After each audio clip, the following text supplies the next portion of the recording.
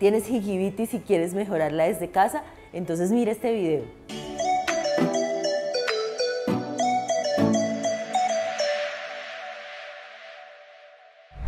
Lo primero que les quiero recordar es que es la gingivitis. Perdón por mi voz, estoy un poquito afectada.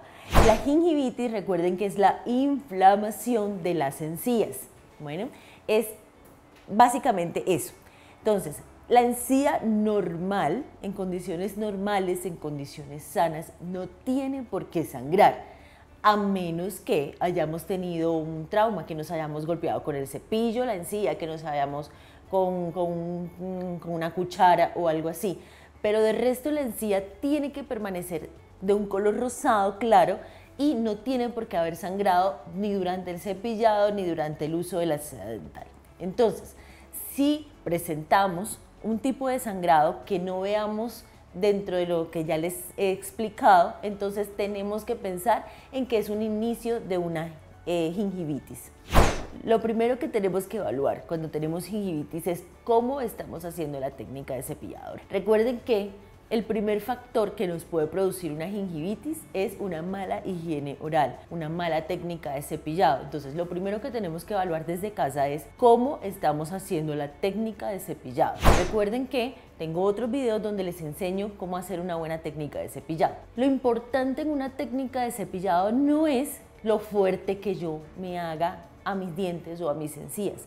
Recuerden que la fuerza puede generar mayores daños a nivel de mis encías, a nivel del esmalte en la zona del cuello del diente, que lo que puede generar es retracciones en esa encía, que esa encía se suba y entonces vamos a tener otro tipo de problemas. Es más conveniente utilizar o demorar un poquito más de tiempo durante la técnica de cepillado. Si demoramos un minuto, demorarnos dos minutos, dos minutos y medio durante el cepillado, pero hacerlo de una manera suave, como masajeando, acariciando esas encías para que ellas disminuyan su proceso inflamatorio y retiremos la placa que está alrededor de ellas para poder mejorar esa parte. Lo otro que debemos tener en cuenta desde casa es el uso de la seda dental. Si estamos usando bien la seda dental, no tiene por qué haber tampoco sangrado durante el uso de la seda, a menos que estemos entrando demasiado en el surco que hay entre la encía y el diente y estemos haciendo mucha fuerza hacia arriba, lo que puede generar también un, un sangrado. Pero es importante, recuerden Recuerden que es importante, por lo menos una vez al día, el uso de la seda dental para eliminar la placa que queda entre diente y diente y que con el cepillado no lo vamos a lograr. Podemos utilizar algunos remedios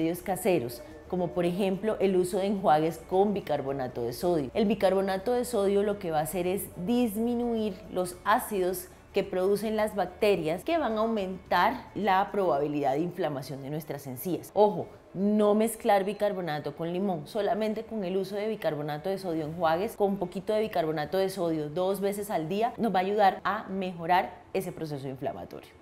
También el uso de enjuagues a base de caléndula. La caléndula es, es, una planta poderosamente cicatrizante y desinflamatoria. Entonces podemos utilizar enjuagues a base de caléndula para también ayudarnos a disminuir esa inflamación gingival. Pero doctora, yo he revisado todo eso, yo me cepillo, he mejorado mi técnica de cepillado, trato de usar la seda dental de la manera correcta, eh, uso enjuagues bucales, pero yo sigo sintiendo que hay sangrado en mi boca o en mis encías, que mis encías se ven de otro color.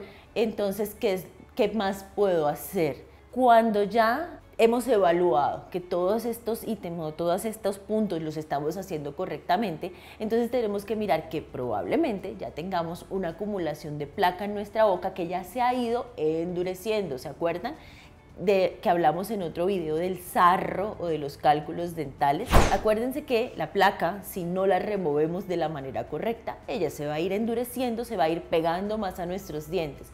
Entonces, si vemos de pronto hilitos amarillos o hilitos más blancos en los bordes de nuestros dientes eh, o en, pegados a la encía de nuestros dientes, eso es indicativo de que tenemos sarro o cálculos dentales y ya en casa no los podemos retirar de una manera adecuada. Entonces ya sí nos toca visitar a nuestro odontólogo.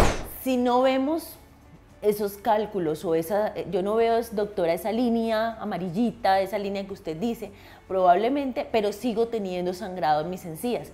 Puede que esos cálculos no los estés viendo, porque están debajo de la encía. Entonces, sí es mandatorio completamente que tengas una visita con tu odontólogo.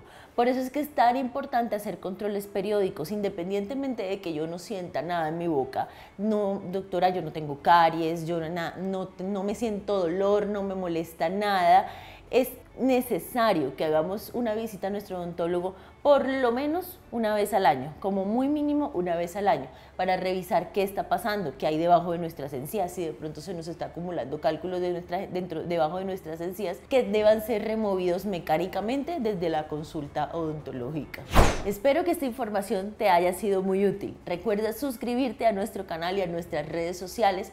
Eh, dale clic a la campanita para que no se te olviden o no se te pase ninguno de nuestros videos y en Oralne Clínica Dental van a encontrar la conexión con su sonrisa.